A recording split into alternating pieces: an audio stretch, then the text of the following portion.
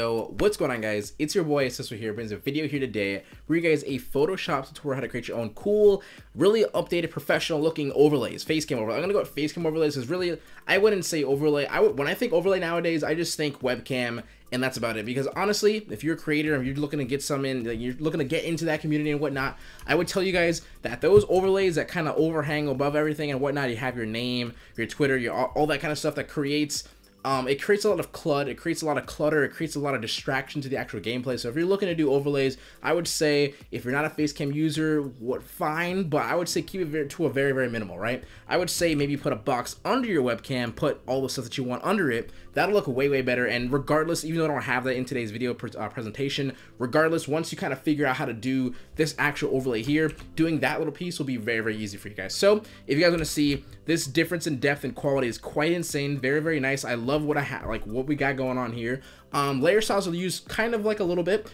um, in like two major part of the parts of the things. Um, so I guess I'm going to be giving you guys away those two different layer styles. It's very easy if you guys want to go ahead and just download that in the description down below. You can do so. Um, but yeah, here's the difference. You can see the depth here, the overall just like kind of feel you get with these little cool little like uh, I'm going to call them like triple vents. We'll call them vents. Um, a cool little place to put your logo that can put your name in there and whatnot if you make the, the circle a little bit different. Um, but yeah, you can see the difference here. This video did very, very well, by the way, when I first did this face cam overlay. Um, probably because like the whole really cool vibe you get with this really cool sharp lines and whatnot going out and whatnot, but I would say you can still do the same exact thing. I just didn't want to choose to go that route because honestly, it's a little bit too distracting. But if you do something like this, it looks really cool. But if you want to, once you kind of get this hanged out and you kind of figure this whole thing out, doing this little part of it, I guess when you call this like, we're going to call like the little Batman little accents, right? Um, it's not too hard whatsoever. So, hope you guys do enjoy the video here today. 200 likes on the video equals a secret down below. As always, guys, let's go ahead and actually leave a like on the videos. We haven't been like hitting even close to 150 recently. It's kind of it's yeah, it's like what the hell. Um, we getting to views though. I don't I don't know what the hell's going on. Maybe you guys just getting a little lazy on that click and like button. But regardless, sure likes the video. You'll see down below. So uh, make sure you guys leave a like on the video. And with all that being said, we're gonna get this thing going. I know it's a little bit dark in my room because your boy it's at it's 10:30. It's a little late, but uh, yeah, I'm still doing this video for you guys. So let's go and get this thing going. Alright guys, so let's go and get this thing going. So I'm going to start off all the way from the start and I'm going to tell you guys the dimensions that I'm using in today's video here today. Now, if I go to File, New, of course, in Photoshop, we're going to be using in today's video is a 1920 by 1080p sort of resolution, right? So you guys already know this. What I would kind of base this off of is whatever camera you're using. Right now I'm using a 1080p by, you know, I can use, actually I don't, I should be using 1080p by 720p. That way be a little shorter on this, like, you know, the width area. But um, regardless, most of the probably people who are like really investing in whatnot, regardless, whatever your webcam resolution is, is what you're going to want to put in here. So if it's like 1080p, put 1080p by 720, you know what I mean? Um, cause 1920, it's not really, it's not really, you know, it doesn't, it doesn't quite matter that much, but you'll find out yourselves that you might have to like squeeze in a little towards the left, a little towards the right. It really just more, more or less just kind of copy the same as the dimensions that you have for your webcam. And then once you've done that, you can press okay. Now, I'm going to go ahead and fill this in with just like, no, we'll leave it like this. We'll just leave white for now, right? So, what I'm going to go ahead and do is I'm going to immediately make a new layer. Now, the reason being is because this is our document's creation size, right? But we want to make a size a little more easier to work with and uh, sort of like give you a better understanding, right? So, I'll make a new layer right away. If I just fill it in with any color whatsoever, once you make that new layer, we're just clicking on this little thing right here, or Control Shift N. Alt backspace is the option to quick fill something in, or if you really want to, double click on it, color overlay or and then just like doesn't really matter right? This this part does not matter whatsoever. As long as you have a nice filled color in beside your background that's you know the same exact size as your actual document. So if i press control t on my keyboard now it brings up the free transform option so of course free transform. And if i hold alt and shift while i click on a corner drag it right in. And i'll say i'm going to work with a size right about here press enter. Now what's going to happen here is you shrink your size of the actual 1080p resolution. Now you have an actual screen that sort of uh, kind of portrays that, right? So now you can say this is our template and this is exact kind of size that I want to use. So once you've done with this, you can make a new layer just like so. We're going to go over here to the Shapes tab. The rectangle tool is going to be using today's video. And I'm to go ahead and just get as close as possible click on that nice edge over here. Now, I think no matter what, you're always going to find yourself in that position where I was saying before, you might have to move your overlay or something like that to the left, your webcam to the left a little bit, or squeeze it just a little bit because something's always off, right? But once you've done this, right, you can turn off your fill, which it all probably already is, but turn this off, you can just do so like, so like this. Let me just turn this off for a second. Um, just so you can see, right? So the fill is, of course, what's in the inside the actual shape that we just created. However, we're turning that off by clicking on this little red dash line here. And then we're gonna turn on a stroke, we're gonna make it black for you guys to actually see. And I'm gonna go ahead and just take my stroke and make sure your stroke option is on a solid line, right? Now, if it's on a solid line, you just take this and put this on like 15. Is 15 okay? Press enter. 15 seems to be, is that like how, what thickness did I go? I, I went about 15 thickness. Um, otherwise, you're gonna have dotted lines. You don't want dotted lines. You don't want to have these kind of lines. Just make sure you have a solid, solid line, right? So once you have this, you can go ahead and just zoom out a little bit and kind of get yourself in a position where you're like, okay, oh, Jesus, I didn't mean to do that. All right, I guess I gotta fix this again. 15. Now, I'm not going to be using black. 15, enter, please, thanks. I'm going to be using black. I'm going to choose on the top right here, choose my actual color. And I believe the color I used was this color right here. It's more of like a very like a uh, softish kind of uh, bluish dark. I can see, you can kind of see it, right? It's more of like a black but with a blue accent, right? So I'm to press OK. Now I'm to make my background black because this white is hurting my eyes tremendously, personally. And boom, okay. Let's make the background black. Also, we can see what we're actually doing, right? When it comes to colors. So, now what I've done is we're to actually just first off do the depth part. So this little depth part here is I'm talking about right here, where I have this really cool kind of, uh, just has a really, really nice vibe to it. Just, you can see the depth and stuff. I'm going to show you guys right now how to do this. Now, what I went ahead and did was I made a new layer and immediately I'm going to make this layer and clip mask this layer to that rectangle that we just created. So I'm then going to use the actual rectangle marquee tool. So not the actual rectangle tool, but the rectangle marquee tool. That way I can go over in here. Let's go inside right? We're gonna take this and kind of like kind of guess where the middle is. Technically, I'm really just guessing right now. Guessing where the middle is. Bring it all the way down to the bottom right as well, and then kind of figure out that this is pretty, pretty okay. This right here though is not very, very good. I'm pretty sure someone tilted. I got you. We're gonna fix it. That is the middle. Cool. Now, for this color here, I would always choose a little bit of a darker, like a darker tone, right? So the color I'm to be choosing for this sort of little fill option here is to be this color right here with the hex uh, code being 0D0E0F. Press OK. I can quick fill that in by holding Control and Backspace. I quick filled in that nice little color here. This is sort of creating a bezel for us, or a bevel, whatever you want to call it, What, whatever. Really, it's almost like making it, almost give it that nice, cool depth 3D kind of thing going on here. So, the reason why we're going to be using layer styles here is because we want to use a certain one. And I have a personal one I already have made for us. This one right here is one that I used in the video that you guys saw, in the preview that you guys saw in the beginning. So what I ended up using was bevel and emboss. You can see that's pretty much the whole thing that gives us that nice, cool, sharp edges here. Um, besides actually having a stroke on, we can see this it looks very, very nice. You can also see the weird sort of shadowy depth that you get in the top here. So if you look on the top corners, you can see what happens here. It just gives that really, really nice clean depth. And all that kind of stuff right there is more or less what you're going to be looking at when you look at the word quality or when you want to get something nice and quality-wise. It's really focusing on the actual just the the feeling that you get when you look at the actual thing. Like you can see it looks really, really clean. Some people don't know really how to I guess, perform that option, but it's not too hard whatsoever. So stroke is the other thing you're gonna be using, right? You can see, like it's a nice little kind of separation between the two depths of color. Um, inner shadow is basically kind of doing the same exact thing. And then last but not least, the outer glow is just a little bit to make the outside a little bit lighter. And if you did not have a clip mask, by the way, if you use my actual, uh, like I'm gonna give these these styles away. If you use my actual styles and you looks and yours looks like this, right? It's because you didn't clip mask it. So make sure you guys clip mask the actual layer that we just made beforehand to this rectangle right here and uh, clip masters like so. All right, cool. So I think next up would be the actual secondly like kind of hard part of this whole entire thing, which would be like these little cool, uh, like I said, I called them vents before. I'm just gonna call them vents again. So these little vents here is pretty much the only part that's kind of like a little bit other like difficult part of this entire thing, right? So I'm gonna go ahead, make a new layer, and I'm using the pen tool today's video, right? Or I'm using the pen tool. Don't, uh, why does this always pop up? as soon as I go to close, it's just like, okay, I'm gonna close down for you, Jesus. All right, let's go ahead and give ourselves a nice little mid um, point here. Perfect. Now, what I'm gonna go ahead and do is I'm going to say, we're gonna make ourselves a nice simple rectangle, right? Or, uh, how do you call it? A rhombus? Like, just something that looks like this. Um, make sure it's there, that's there. And we're gonna go ahead and make sure that this line hits about there. Okay, connect these. Now, if you guys want to know how I did this very, very easily. Okay, why is that, uh... Okay, so it's not actually there. Okay, and I want to delete that point just to... Okay, please.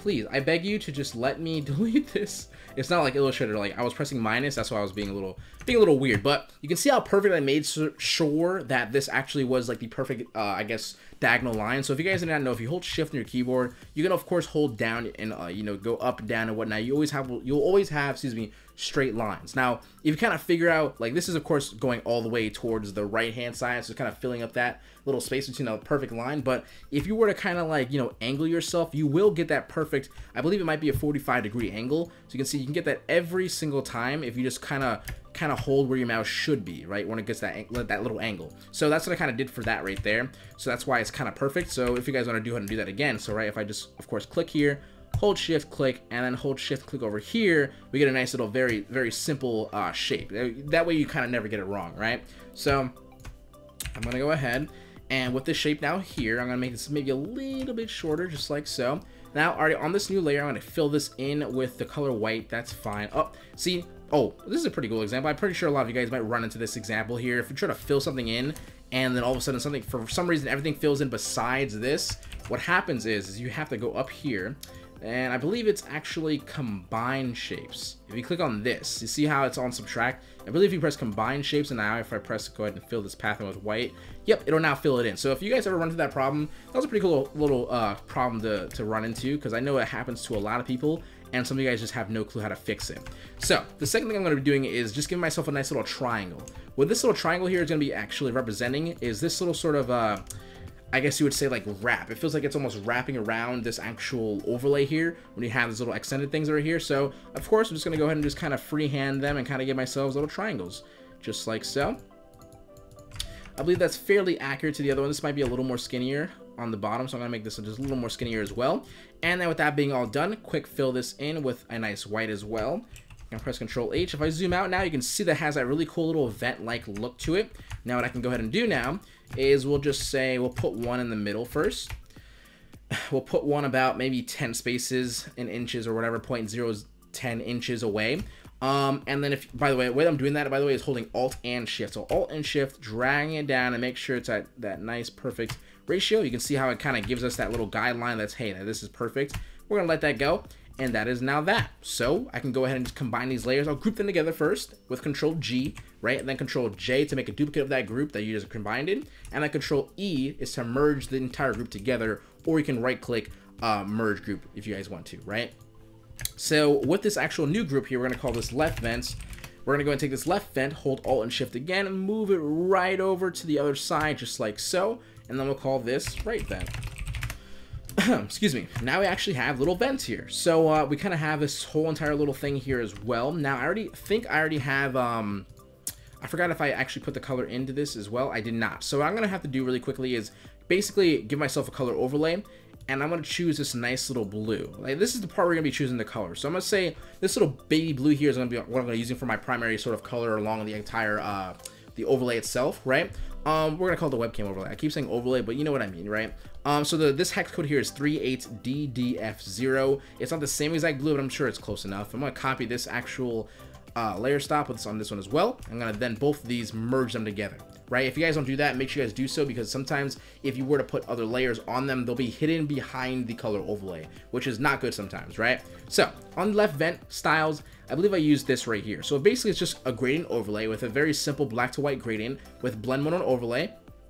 Then of course I got bevel and emboss again, just giving me that nice, very cool sort of uh, almost metallic feel to it with the, the combination I have going on here. If you guys want to see 1000 depth, direction up, size 1, soften 16, negative, uh, 92 angle, uh, positive 17 altitude. Um, and then sort of 40% on a screen where that's white, and then multiply black 60. Oh, I'm gonna put it at 70, so it's very easy, and then 15 for that, so it's very easy to kind of remember those kinds of numbers, right? So press OK. I'm gonna do the same exact thing. So copy layer style onto the right vent, just like so. Right now we have these really cool vents. Now these look super freaking cool. You can start to see how very clean and attractive this is actually starting to look. Now there's very, very few things I would add after this, right? You can see sort of very few things I personally added. One thing of course you can see right away, is that little vent on the uh, left-hand side. I'll call it a little extended point. I'll call it a little extended shape and whatnot, right? That shape right there is very, like, it's not pointless in a way, but it kind of makes the, uh, even though it's all straight, it almost makes it feel like right here in this section here, it's almost like, like blown up a little bit, like blown out, like it just kind of feels that it's it's angled oddly, but it's actually not. Everything's still straight. I don't know if you guys what I mean, right? I mean like it's almost like a triangle, right? You kind of see like a triangle composition let me show you because I, I feel like I'm talking to myself and it's just like, what are you talking about, bro? I feel like it looks like that. My eyes kind of feel like it looks like this, even though it's really not. But uh, maybe your eyes can now kind of see what I'm looking at. I don't know. Hopefully, I don't know. Whatever. It's a, you know, you don't have to always look at the way I look at it. Um, but I'm gonna go ahead and give that myself that little shape there. So, very simply, just like so, I use this little halfway point here. The reason being is because I can then go ahead, right, and then I'll take on this new layer here, already right there, fill this in with white. Press OK. I can Control H to rehide my rules that I just created.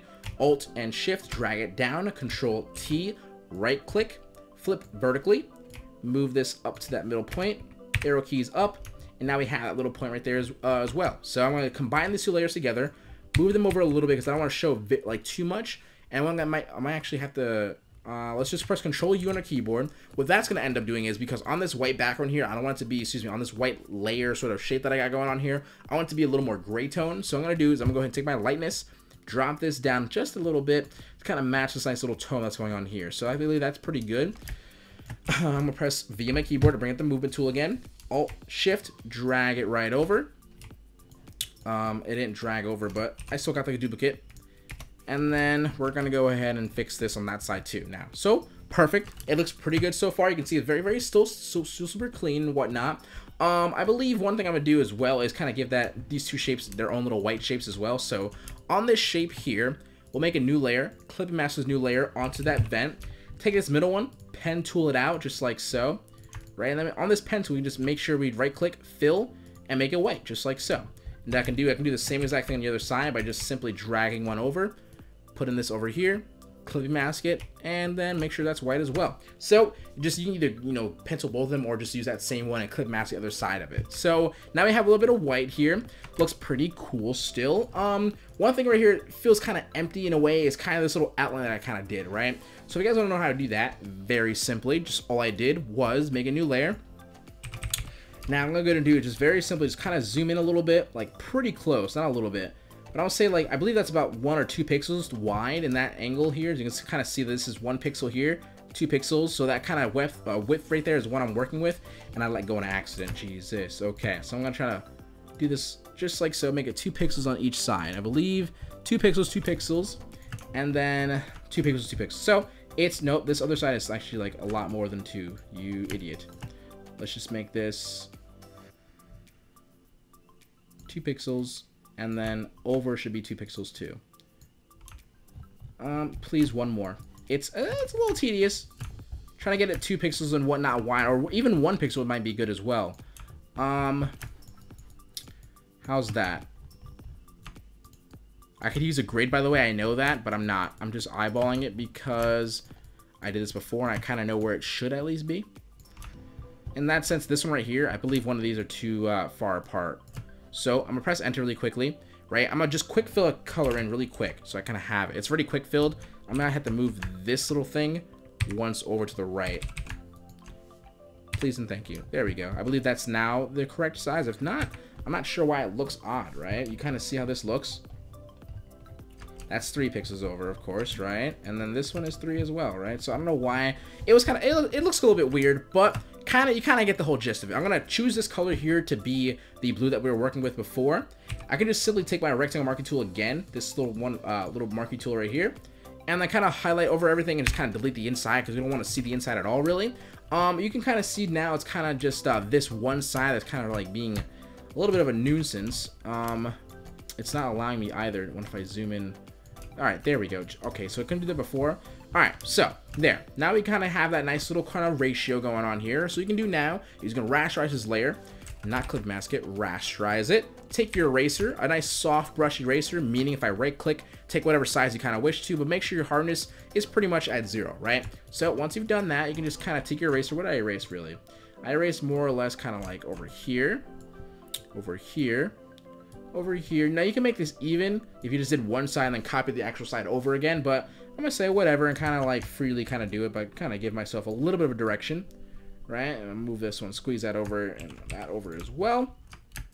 And what that kind of like little light kind of does for us kind of give us a like a kind of just makes it a little more bolder, but not like so much, right? It doesn't feel like it's like uh, super over whatever. It doesn't feel like it's kind of going crazy and whatnot, right? So essentially, we're pretty much done in the sense of the actual baseline stuff, like little things like I did here. All you really have to do is kind of just, you know, let's just click on where it is. If I hold control, if I select places, you can see my over on the right hand side. It'll tell me exactly where that is if I hold control. So there's a little thing if you guys don't know how to do that. But that means that's that layer right there. So anything I want to put on this, all I gotta do is click on it, make a new layer. It should be clip mask automatically because I have this already above it. Take my pen tool, click over here, click over here, hold shift, hold shift again. I don't have to hold shift. I'll just click up and connect it. And then we'll make this white and then drop that down. Excuse me, delete that path. And I'll give myself one, two, three, just like so. I'll take this, copy it over by holding Alt Shift and dragging it, flip it vertically to make sure it's the same axis, and then put it somewhere kind of where it was before, right? So you can see it looks, it just kind of gives it like almost a little bit of a, I don't know, just a nice little touch to it, honestly. If I just lower this opacity down a little bit. And uh, that looks pretty good. I like it. So, uh, basically we're pretty much done, right? In the sense of like actually having this entire thing. But, oh, also, the actual, uh, this right here. So what I'm going to do is I'm going to press SOHQ. The font that I use, I believe, let's take this off, and put this above everything. The font that I used was, let's choose a blue here, was uh, Urine, Urane, Nerum, whatever. It's a really cool font if you guys don't have it already. Uh, let's go ahead, I don't know why it's something selected. Let's shrink this down a little bit.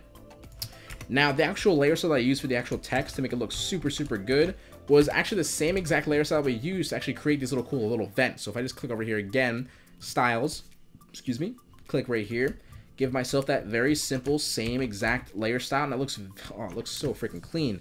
Jesus. Okay. So, last but not least is sort of something that if you don't want to have your name floating on the actual thing itself, whatever, right? Or if you have a cool little logo, I think doing this might look pretty cool. So if you kind of combine everything in a group, so it basically click on the first layer, right? Holding shift, click on the last layer, that's pretty much anything that actually counts. Control G to group it all together. Now you have everything in one little group. Now what we can do is Control J to make a duplicate, Control E to merge it all together, and now you have your overlay in one simple uh, kind of layer, right? So that's what's to happen here is you can go ahead and now, I'm to quickly find where my logo is in this thing here. Drag this, put this over here. Right, because I want to have my logo in the, this little top right corner. Maybe you have a logo, maybe you don't. Maybe you have like a letter, whatever concept you might have. Um, maybe you need to get a logo, right? Your boy. Um, but yeah, seriously, right? If you have a logo here, what you can do now is on this overlay, since this is now one group, you can go ahead and you can take the circle ellipse tool if you guys want to. Uh, excuse me. Let's go ahead and use this ellipse tool first, the actual ellipse tool. Hold Alt and Shift when you click. Make that nice little circle right there. And I'll give myself a nice little stroke at a size of one. Pretty good, right? And I'll just take this, shrink this down just a little bit. I want to use that blue on this line right here, this stroke line. Let's go ahead and change this to that nice little blue that we have going on, go like right here, right? Please, let me click on it. Oh, I have to click on the actual layer. Whoops. Then click on it. Oh, this is the layer. Jesus. Okay, we kind of we don't worry. Process elimination. Um, okay, so now on this overlay, what I can do is when I use the ellipse tool now, not the actual tool, um, the actual just sort of excuse me, the marquee tool, not the actual ellipse tool to make a circle, just a marquee tool to get that selection. What we're gonna do is we can click on the overlay with that circle here. Press delete now. You kind of have this nice little emptiness right where the circle starts and you kind of have your logo just kind of right there, right in the middle. Looks pretty damn cool. Now, other things you can do before is what I said before, right? If you guys were to you do the rectangle and stuff like that, but we're to use the ellipse tool, make a new layer right below this actual uh, circle ellipse, right? You just go ahead, Alt, Shift, hold it just like so, make a nice little, a little bit of a bigger circle. Right, what you can do now is if you want to do something a little bit different, you can change this stroke option to something like this, maybe. I believe I did this last time. No, I actually def I definitely did this. Now what I can do might is a little bit like, just maybe like this. Hold on, what the heck? Uh, let's just go with like two. Enter. That's pretty good. All right, so make this a little bit bigger, just like that. Let's go ahead and just maybe let's make this a little bit bigger, like four. Okay, four is pretty good. So I'm gonna do is I'm gonna make this a little smaller, just so I don't want to hit this here. Um, it's gonna have to be like that. Perfect. So, so you can do something like this, right? If I rasterize this layer now, this little circle, take my eraser, shrink this down, erase this side here, this right here. Now we can have a little cool little, uh, almost, it kind of looks like cool little tech kind of thing. I don't know. I think personally looks pretty dang cool. And uh, that's pretty much the identical copy of what I did right here. Um, there's almost nothing that I did differently, actually, so besides change the color of this. But that's fine. This works out. So hopefully you guys do uh, enjoy the video here today. So I, there's no way in hell that this is not better than this. I, I, I honestly think if you have something like this, yo, change it. I promise you, you're gonna have a great time. You're gonna look so much more cleaner, professional. And if you're still using it like overhead, like HUD overlays, please, for the love of God, get rid of those. Um, they're, it, it, it, there's a reason why you don't see them very often, and there's a reason why just don't just don't use it. Be, let me help you out real quick. Um so yeah hope you guys enjoyed today's video. 200 likes on the video equals a secret down below so do not forget to leave a like guys if you guys enjoyed it of course right? And uh, yeah just maybe tweet me anything you guys want to see me do. Um personally if you have anything that you might have done and you guys use my tutorial off of please tweet at me. I would like to see your variation of it. Um so yeah thank you guys so much for watching. HQ is my twitter if you guys want to follow me at HQ. um yeah i'm gonna dip out now because it's kind of late and your boy needs to still edit and do a lot of it's sad All right. Anyway, I'm gonna get going. So hopefully you guys enjoyed. Talk to you guys later. Seso HQ out. Don't forget to keep smiling, stay positive, and stay freaking productive, guys. Productive, guys. I'm tired. later.